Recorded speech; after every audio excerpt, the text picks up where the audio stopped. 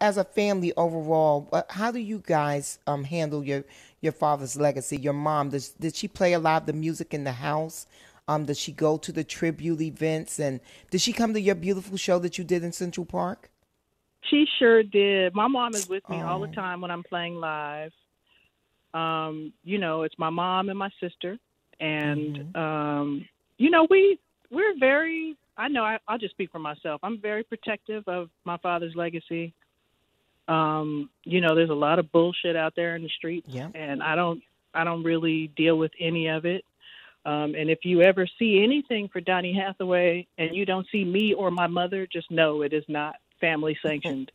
Um, Okay. We are working on some things and uh, we are cleaning house because there's a lot of stuff. Mm. Um, you know, and it's interesting. In the last three, four years, a lot of extra stuff cropped up. Yeah. So I think it was the approaching uh, anniversaries of things, but um, I am very serious about my legacy. Uh, my sister and I are very serious about where we come from, even though it's fun and games.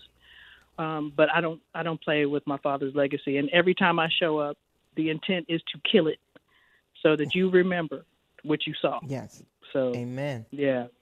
Well, well, you definitely delivered that.